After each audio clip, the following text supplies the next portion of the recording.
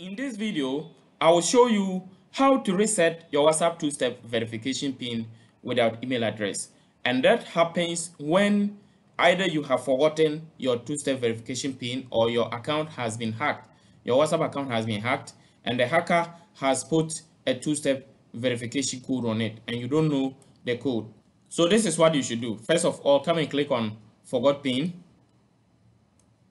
When you click on forgot PIN, it takes you to the next screen where you will see that it will you'll be told that reset your pin via email if you added an email address while setting up your two-step verification. Alternatively in seven days you can reset your whatsapp account to continue without a pin.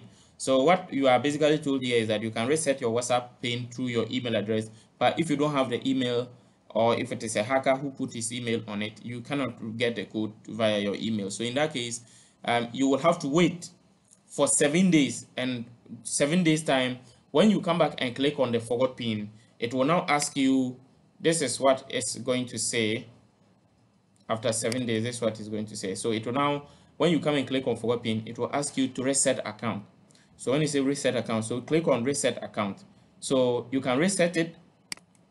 Then it will ask you that if you reset your whatsapp account you can finish registering without your pin but your pending messages will be deleted so it means that with the, with the reset, you will lose messages.